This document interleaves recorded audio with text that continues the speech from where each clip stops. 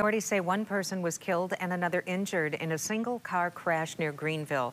The Kent County Sheriff's Office says the car, driven by a 38 year old Sand Lake woman, lost control on Montcalm Avenue near 16 Mile Road and hit a tree. We're told the passenger, a 39 year old Sand Lake man, was killed in the crash. The driver was not seriously hurt. Their names have not been released. The sheriff's office says that speed was likely a factor in that crash.